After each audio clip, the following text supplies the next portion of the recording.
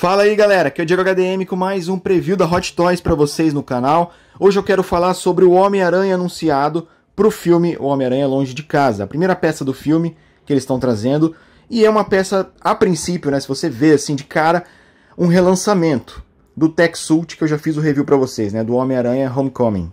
Só que tem um porém aí.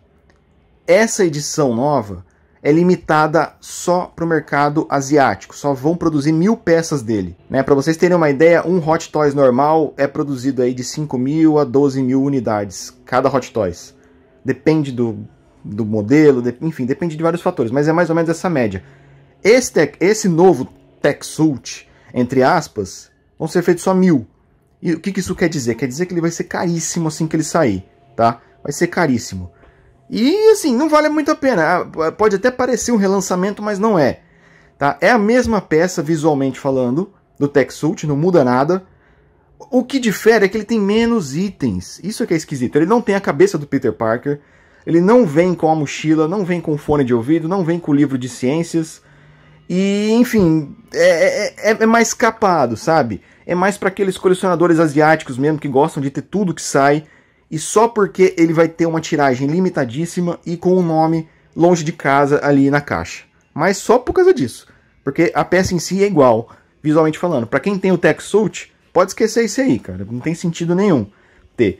Ah, mas por que você está fazendo preview então dessa peça se só vai ter lá na Ásia? Porque eu gosto de mostrar para vocês tudo que vai sair referente a Hot Toys. Eu acho que algumas pessoas que estão assistindo aqui esse preview vão acabar querendo ter esse Homem-Aranha pela exclusividade dele ainda não é a peça que a gente está esperando do Longe de Casa, né? Ele com a roupa mais escura, em luto por causa do Tony, enfim, as outras pe as roupas que vão sair do filme, já já eles vão começar a anunciar. Soltaram essa primeira para sentir o mercado, a galera lá da Ásia vai se matar para comprar esse Homem-Aranha, a gente não, né? Bom, ele vai sair esse ano ainda. Já nos eventos próximos que tiver, ele vai estar tá liberado para venda lá, só pessoalmente e em evento. Beleza? Então é isso, mais um preview aqui no canal para vocês. Primeira peça do filme Homem-Aranha Longe de Casa, uma peça Movie Promo Edition. E eu fico por aqui, galera. Se você não é inscrito, se inscreve, hein? Um abraço, fui!